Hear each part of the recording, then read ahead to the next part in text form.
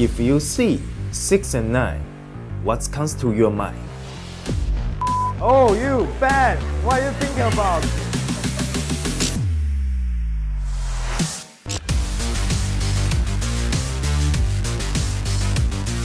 Hi, I'm Sean. 6 and 9 is highly interactive and fun to do.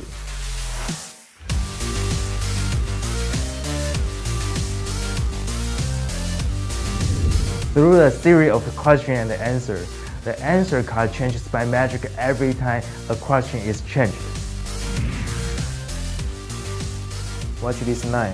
Just like 1, 2, 3, you can see the 9 become a 6. So, so you can see here is 6 and 9. So the answer will be, yes, the answer will be 15. This pocket trick also comes with extra card for alternative ending. You can perform it to any type of audience at any situation. It's too boring, too easy, you know. Let's retry this way. Can I borrow your hand?